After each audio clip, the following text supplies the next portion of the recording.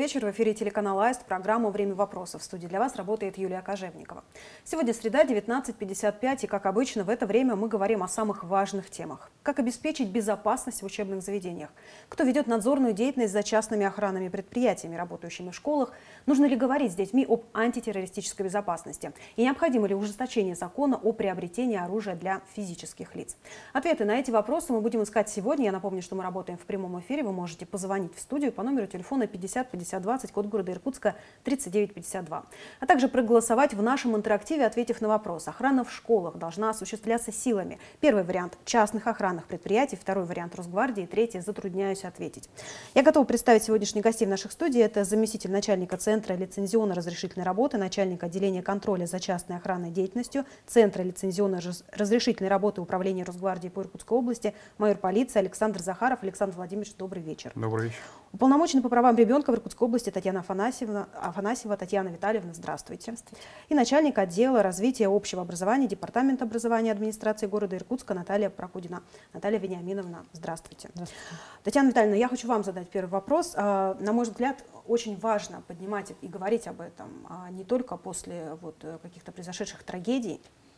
И более того, хочу сказать, что я не стала делать программу вот именно в сентябре, когда произошла трагедия в Ижевске. Я подумала, что, наверное, лучше говорить об этом и как-то системно подходить вот к этому вопросу. На ваш взгляд, как мы можем обеспечить безопасность в школах? Понимаю, что вопрос такой первый очень общий.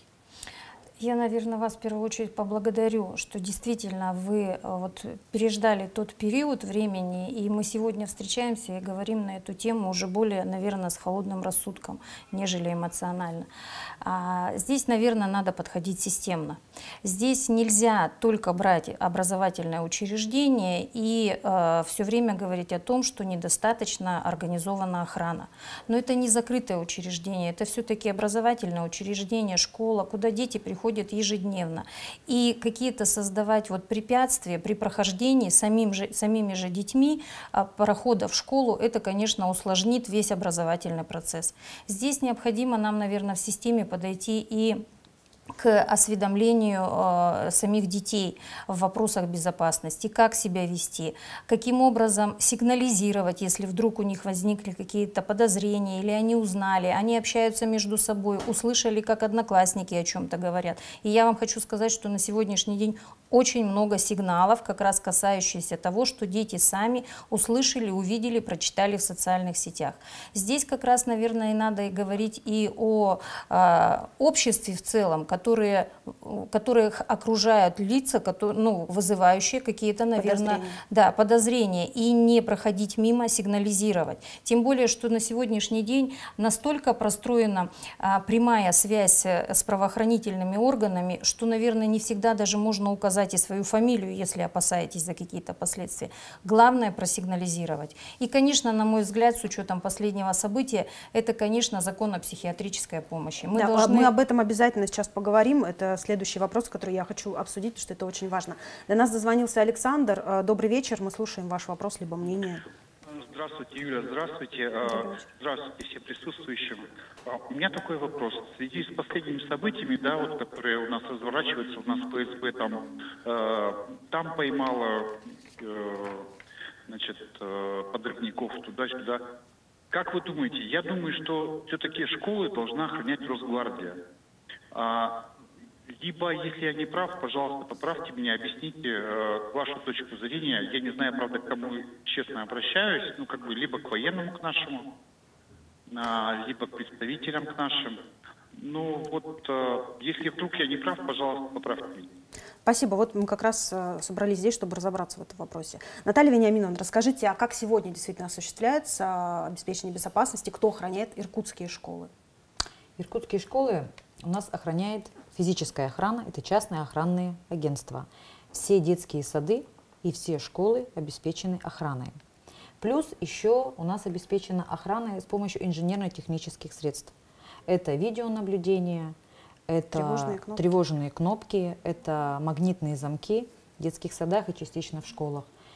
И все технические средства постоянно проходят проверку и плановую, и внеплановую. Поэтому мы говорим о том, что обеспечены. Спасибо.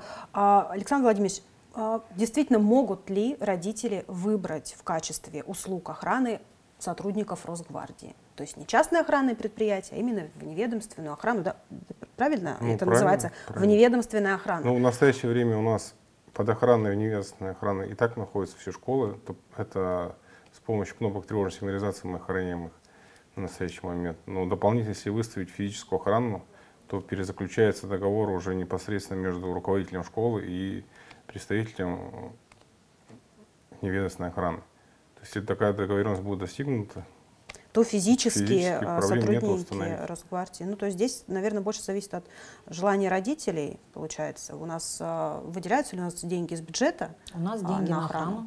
Для обеспечения охраны выделяются деньги из бюджета города. Все верно. Ну, то есть, э, а получается, что если это будут э, сотрудники Росгвардии, то тут уже родители как-то должны дополнительно. Нет, нет. Все зависит от бюджета образовательных учреждений, который Мгм. запланирован на, ну, на обеспечение данной безопасности. То есть определенные суммы есть охрана, неведомственная охрана, охрана ЧОПами. То есть все зависит от бюджета, который может охранить. То есть поборы родительские Мгм. на охрану, Они, они не, нужны. производятся, они не Нет, нужны. конечно. Обеспечение жизни и здоровья детей – это задача образовательной организации. И каким образом она организует вот именно эту деятельность, то это, конечно, администрация решает сама.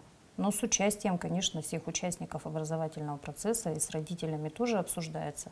Но все действительно а, сходится к бюджету. А, Вы знаете, вот еще тоже вопрос, наверное, даже вот не знаю, кому из вас его адресовать. Если мы зайдем в любое абсолютно здание, где находится любое из ведомств, да, мы увидим, что там стоят металлоискатели, что там сидит охрана, причем обычно она сидит за там, э, стеклом, за которым не видно, кто там сидит. Это обязательно проверка документов, это обязательно вы не пройдете ни в коем случае в это здание, если к вам не спустится сотрудник или не выпишет вам пропуск. Вот, э, может быть, такую же систему нам применять как раз в образовательных учреждениях. Но это все, это все в школах тоже есть. Есть охрана, то есть охранники, которые непосредственно проверяют э, документы, кто приходит в школу. Соответственно, точно так же ведется видеонаблюдение, также э, тотально должны проверять приходящих, уходящих. То есть в школу контроль и в детские сады осуществляется. Также металлоискатели, все это есть. А какие варианты выбора услуг? То есть здесь, получается, выбирает школа в зависимости от своего бюджета, правильно я понимаю? Абсолютно, а какие разные, чем отличаются эти а, частные охранные предприятия? Сами по себе охранные организации не отличаются. У нас есть только виды деятельности, которые разрешены той или иной частной охранной организации. А В нашем случае это седьмой вид, вид деятельности, который подразумевает антитеррористическую безопасность на данных объектах, который имеет э, данный вид ЧОПТ и допускается к данному виду работ. Соответственно, единственное, что у нас охранники могут подразделяться на ка- категории условно 4, 5, 6 разряда, и это уже зависит от руководства учебного заведения. Если заложат в техническое условие, что им необходим охранник шестого разряда, тогда, соответственно, частная охран- организация выделит им охранника шестого разряда. Охранник шестого разряда, давайте Он уже, поясним для охранник шестого разряда, он уже наиболее подготовлен, он уже имеет э, правила обращения с огнестрельным оружием, ну, соответственно, спецсредства и все остальное.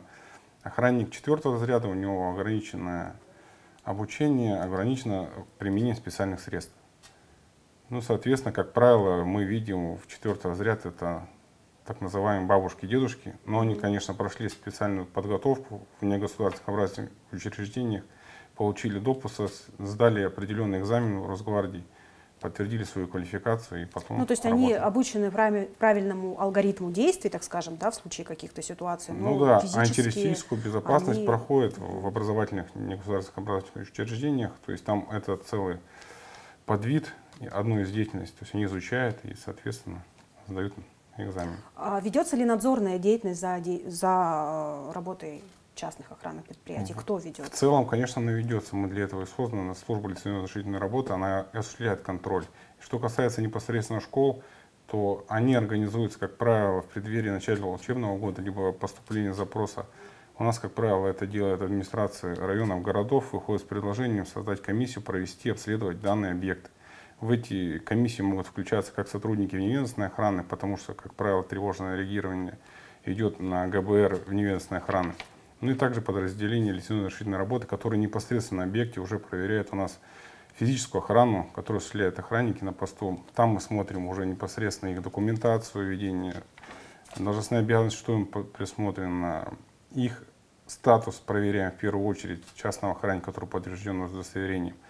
Проверяем личную карточку, это принадлежность конкретной организации, что, потому что договор заключается организацией, чтобы мы увидели, что действительно этот человек с этой организацией имеет право там находиться на данном объекте. Ну, и ряд других документов. Инициировать эту проверку могут ли родители, я не знаю, или это ну, только через, плановые проверки? По, это, как правило, через администрацию проходит районов, то есть они туда поступают запросы, если мы уходим и проверяем. Ну, либо если будет письменное дополнительное обращение граждан, мы, конечно, в рамках рассмотрения жалоб обращения мы можем провести проверку, но это будет точно конкретного угу. объекта образования. Спасибо. А, Наталья Вениаминовна, скажите, пожалуйста, а проводятся ли плановые а, собрания, может быть, заседания педагогического состава, вот где а, как раз рассказывается о том, как правильно себя вести вот в этом верном алгоритме действий на случай ЧП? Конечно, на, в начале учебного года, как уже говорили, проводятся инструктажи в, по, различным направлениям, в частности, по антитеррористической защищенности. Если происходят какие-то чрезвычайные происшествия, соответственно, внеплановые, внеплановые инструктажи и руководители образовательных организаций в обязательном порядке э, издают приказы, то есть локальные нормативные акты, в которых они еще раз обращают внимание на усиление тех или иных мер, мероприятий. Поэтому это ведется во всех образовательных учреждениях. А, спасибо. А э, что касается проверок вот этих учебных тревог, как часто они проводятся? Не, То есть это как-то регламентировано? Они также есть плановые, есть внеплановые, которые осуществляются, э, в частности, и антитеррористической безопасности, то есть эвакуации детей, угу. для того, чтобы отработать алгоритмы, чтобы педагогический состав тоже знал все свои действия и также эвакуируют детей для того, чтобы чтобы дети, дети, чтобы знали, дети знали, как себя вести. Вы знаете, вот я помню, что раньше на уроках ОБЖ мы говорили о том, как правильно себя вести, если, не знаю, произошло землетрясение, оползень, ну, то есть вот какие-то такие природные катаклизмы. Сегодня, если в программе образования, а, в школьной программе, в том числе на уроках ОБЖ, может быть, либо это какие-то отдельные уроки о вот этом правильном а, поведении в случае вот таких страшных ситуаций? На, на уроках ОБЖ сейчас в свете всех происходящих событий угу. изучаются эти темы для того, чтобы дети знали свои действия. И поэтому педагоги, которые преподают этот материал, с детьми рассматривают, разбирают. Как Татьяна Витальевна уже. Ну, сейчас Татьяна Витальевна да. тоже, я хочу, чтобы она рассказала да. об этом, потому что до программы мы об этом э, говорили. Разрабатывают э, в рамках уроков ОБЖ различные э, мини-проектные работы, именно направленные для mm того, чтобы дети сами практически свои навыки отражали и могли применить ну вот, к сожалению, получается, что дополняется у нас, э, вот в данном случае, к сожалению, школьная программа. Татьяна Татьяна, расскажите, пожалуйста, вот, потому что я до программы задавала вам тоже этот вопрос. Знаете, наверное, мы сами не должны бояться этих тем, мы должны с детьми разговаривать на эти темы и, конечно, вовлекать их самих в разработку материалов, информационных материалов. Вот у нас э, созданы при уполномоченном детский совет, они сами самостоятельно, с учетом событий, разработали памятку, где четко, доступно доступным языком, на своем, может быть, даже каком-то сленге, они своим же сверстникам рассказали, разместили это в социальных сетях. И это, наверное, правильно, действительно. Более Ведь мы даже, для детей. Да, и для понимания, для запоминания, потому что не всегда, наверное, уже и слышат дети педагога, потому что 6 часов они и так слушают педагогов. И еще, может быть, на такую тему не всегда эта информация откладывается. И потом, наверное, и невозможно предугадать, что все-таки действия детей детей по последнему случаю, может быть, и сколько жизней было спасено, ведь грамотно дети все равно действовали и закрылись, и э, тишину создавали. И нам самим родителям даже надо уметь и знать, как действовать в этих э, ситуациях, как минимум не звонить детям на телефоны. Да. Поэтому здесь действительно необходимо говорить и необходимо отрабатывать э, вот, на практике вот эти вот все действия. Спасибо. Ну вот если уж мы говорим про недавнюю трагедию 26 э, сентября, ведь там э, у нападавшего были травматические пистолеты, которые были переделаны в боевое оружие. Ведется ли учет этого оружия сейчас? Насколько, э, не знаю, может быть, просто сегодня нелегально купить это оружие? Не, нелегальное оружие у нас, конечно, запрещено федеральными законами. Данную линию, конечно, контролируют надзорные органы. Это Федеральная служба безопасности России, также Министерство внутренних дел России. Это их прямая прерогатива, то есть они занимаются данным вопросом. Но Росгвардия участвует в данном вопросе путем выявления то есть незаконного оборота и, соответственно, уже передачи материалов для проведения следствия в эти компетентные органы. А сколько единиц оружия сейчас а, зарегистрировано в Иркутской области? Ну, мы сейчас имеем 68 тысяч владельцев оружия на территории Иркутской области, у которых в пользовании находится более 134 тысяч единиц ну, различных видов. Если мы сравним статистику, не знаю, прошлых лет сейчас, мы можем сказать, что мы... а, тенденция на уменьшение либо увеличение? Да, конечно, мы можем сказать, в связи с ужесточением федерального закона об оружии, постановление правительства, выпущено 814 у нас, внесло серьезный ряд изменений. Мы буквально за два года видим снижение по области свыше трех тысяч владельцев у нас ушло. Для каких э, целей вообще люди приобретают оружие? Ну вот э, человек, если он не является сотрудником, не знаю, ведомства, да, не является сотрудником силовых структур, гражданский человек, для чего? Ну, и, и он должен ли он говорить о том, для чего он вообще приобретает оружие? Не, ну, как правило, они должны у нас по заявлению, по категориям делиться приобретение оружия. То есть человек уже определяется на начальной стадии. Ну, 70% я вам скажу, что это у нас а, владельцы, занимающиеся охотой. Угу.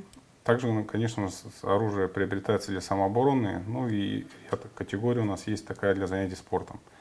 В последнее время развивается такой вид деятельности. То есть, как бы, край, вы понимаете, у нас сибирский, то есть это у нас в крови, люди приобретают оружие даже больше, чтобы было, лежало, когда-то там, если равно пойду охотиться, делают, ну, то есть обезопашивают, так сказать, угу. свой дом, себя в данном вопросе. А, сдает ли человек какие-то экзамены, проходит, ну вот помимо справки из психоневрологического диспансера, вот кто оценивает его, не знаю, состояние психическое, психологическое? Психическое, психологическое. С 29 июня у нас добавились требования, по которым мы теперь, как и Минздрав с 1 марта навел дополнительные требования, проходится дополнительное тестирование у психолога. Раньше сдавался непосредственно тест на химико-токсикологическое исследование, это на наличие наркотиков, метаболизмов в организме ограничивающих. Сейчас помимо этого добавили обязательно тестирование у психолога. То есть психолог в течение минимум часа проводит э, свои тестирования, то есть вот это такой существенный барьер стал угу. для получения лицензии на приобретение это оружия. Психолог, э, это психолог, где он находится? Это, это ИПНД, ИПД, допустим, да, угу. ИПНД, вот они непосредственно занимаются перед тем, как получить заключение в медицинском центре по месту жительства, сначала проходит вот это исследование, ну, в том числе и химико-токсикологические исследования и так далее.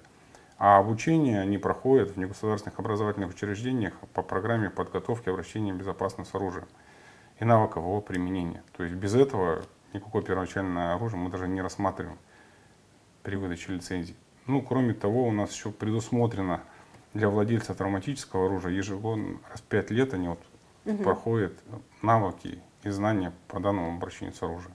Ну, то есть и там дополнительно также человек, наверное, оценивается. Ну, конечно, его проверка и знания оценится дополнительно. Я знаю, что сейчас, э, на ваш взгляд, нужно ли ужесточение э, закона?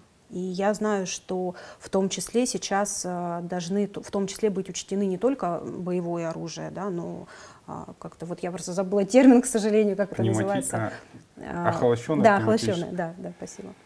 Ну, охолощенное оружие у нас подлежит, конечно, регистрации, мы ведем учет, но в федеральном законе об оружии нет конкретного надзора с нашей угу. стороны за данным видом оружия, так как оно оружием, по сути, не является охолощенным. Но в то же время нам приписано регистрировать отдельно нормативное ну, введение наблюдательных дел по регистрации данного оружия у себя. То есть оно не требует дополнительно какое-то разрешение, лицензию на приобретение. Это у нас на уровне магазина, осуществляющие торговлю оружием, то есть они по документам, то, что это гражданин Российской Федерации, достигший возраста 18 лет, могут продать ему это оружие, данный вид оружия.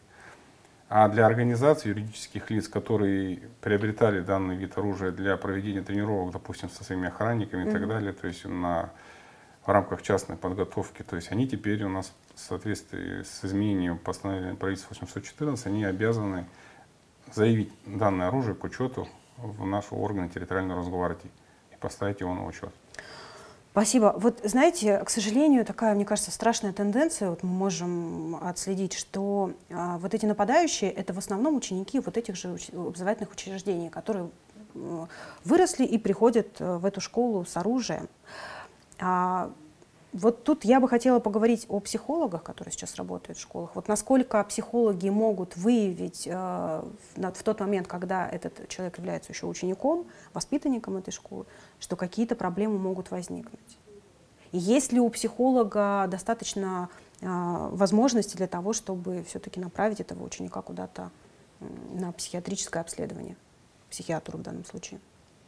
Ну, так как мы что ответит? работаем, с- так как психологи работают с несовершеннолетними обучающимися, естественно, для того, чтобы психолог мог направить, он не имеет такого права, только рекомендательный характер.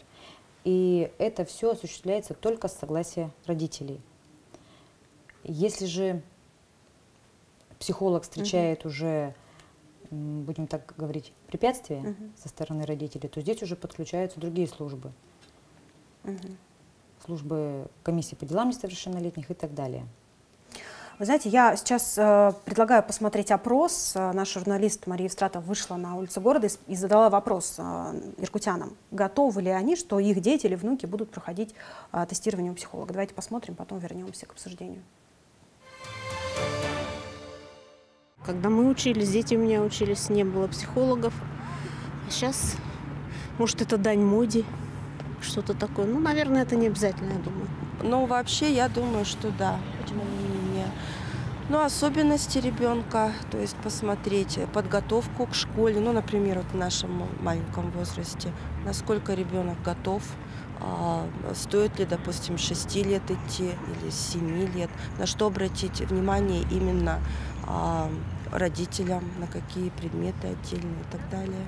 Я считаю, что это необходимо. Во-первых, нужно для школы, например, разобрать психотип ребенка. Это очень важно для того, чтобы подобрать ему индивидуальное обучение. Потому что в обучении, во всем этом процессе очень важен индивидуальный подход. Нельзя каждого ребенка под ну, скажем так, под одну программу э, задействовать в обучении. У каждого ребенка свои какие-то переживания, могут быть э, свои какие-то проблемы или наоборот, м, ну, отдельные моменты, скажем так. Поэтому это все нужно индивидуально также подбирать, как и образование, также и включение его в общество. Я считаю, что нет, не каждому. Почему? Ну, потому что это родители должны, на, на усмотрение родителей должно быть, а не педагогов, я так думаю. Ну вот как обязательно я бы не сказала, что это нужно. То есть каждый родитель должен определить, насколько его ребенок нуждается в этом. А вот как обязательное нет все-таки. Ну желательно, потому что психолог никогда не повредит, тем более детский э, подскажет родителям, как вести себя с ребенком. Ребенку поможет, потому что в школе сейчас очень сложно. Ну, я думаю, что неплохо было бы. Почему? Ну, потому что многим детям просто плохо в школе. Они плохо себя чувствуют в школе.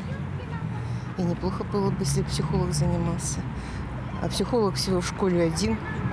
И, как говорится, только анкеты получается, что... Время все. уделить каждому Мгм. ребенку-то не Каждому просто. ребенку же уделить сложно времени. А характеры у детей разные. Ну вот такое мнение. Вот, Татьяна Витальевна, хочу у вас спросить. а, Скажите, а на ваш взгляд, за психологическим комфортом и состоянием детей все-таки только родители должны следить? Только школа? Или здесь вот Я всё думаю, совместно? главное, чтобы а, родители и школа не конфликтовали. То есть вот э, один из э, опрошенных сказал, что индивидуальный подход. Вот э, родители правы в том, что действительно необходимо индивидуально подходить к ребенку. Но и сам родитель готов должен быть принять ребенка таким, какой он есть. Ведь завышенное требование родителя к ребенку это тоже подчас играет злую шутку, когда ребенок действительно вот эти поднятые планки, он не дотягивается, и отсюда начинается вот этот дискомфорт.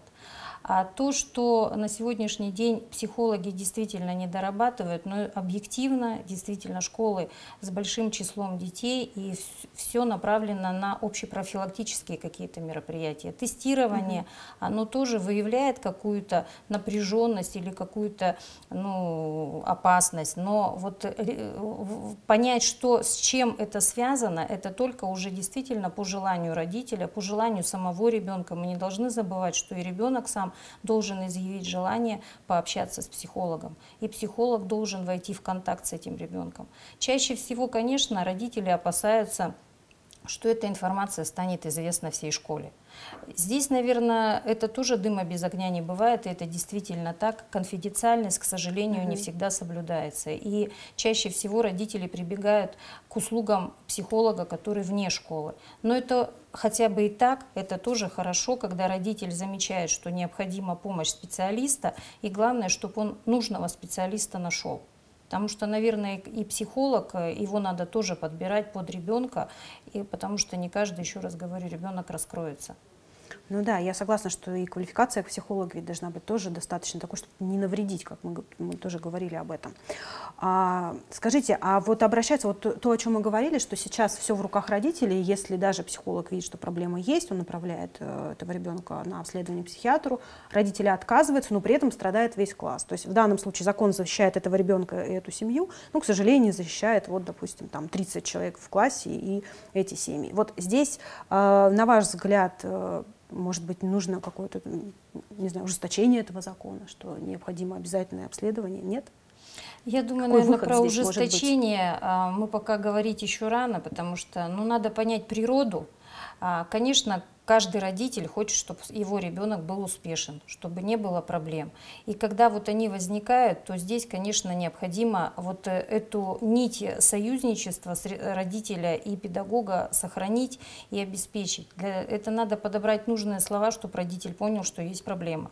Ну а когда это, э, скажем так, нарушается, когда родитель не принимает проблемы своего ребенка, как уже коллега сказала, а, здесь, конечно, есть инструменты и комиссии по делам несовершеннолетних, несовершеннолетних. И а, в том числе, а, наверное, в зависимости от действий этого ребенка необходимо их оценивать. И возникает, и ребенок растет, и возраст э, привлечения к ответственности он а, уже достигает. Поэтому, конечно, это только разъяснительная работа и работа с э, педагогами и с самими родителями.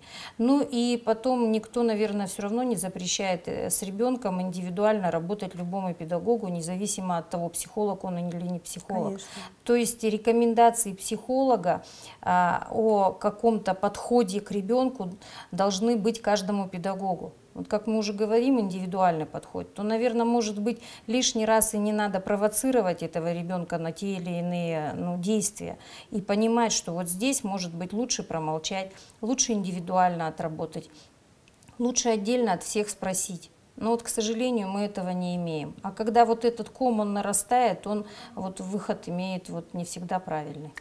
А если в Иркутской области у нас, может быть, анонимные службы психологической помощи для подростков, куда они могут обратиться? Или это ну, в доступе школьный психолог, опять же? Телефон доверия. У нас, в общем-то, угу. все экстренные службы, все это можно найти. А, у нас сейчас, знаете, никто просто не запоминает номера телефонов. Но вот необходимо путь показать, где это можно найти. Угу. Вот э, в нашей большой сети, в интернете можно найти. Все экстренные службы и на сайте правительства есть, на нашем сайте есть. То есть все эти телефоны, адреса можно найти. Но и потом анонимные они, а, я думаю, что в любом случае а, это конфиденциально. То есть любой э, клиент, который обращается к специалисту, вся информация, которая становится известной, она, конечно, не подлежит разглашению. Поэтому здесь переживать или там, что эта информация станет известной. И самое главное, все переживают, что если они к психиатру сходят на консультацию, то обязательно его ребенка поставят на учет. Да ничего подобного. Ставят на учет, когда есть длительные какие-то расстройства. А любая консультация, она на то и консультация. Люди пришли поговорить, узнать, есть ли или нет проблемы. Если они есть, как их решать. Ну и, и это может ведь предупредить большие проблемы в Конечно. будущем, когда вовремя обращаются. Большое спасибо. Вы знаете, очень хочется, чтобы таких тем на самом деле меньше было, но думаю, что все-таки вот в, в подобном э, нужно поднимать все-таки эти вопросы, потому что здесь может как раз-таки найти какой-то выход в данном случае. А, победил у нас второй вариант в нашем опросе, то есть наши телезрители считают, что охрана в школу должна осуществляться все-таки силами Росгвардии. Я напомню, что вы смотрели «Время вопросов». Я, Юлия Кожевникова, прощаюсь с вами до следующей среды. Не переключайтесь, оставайтесь на Эсте.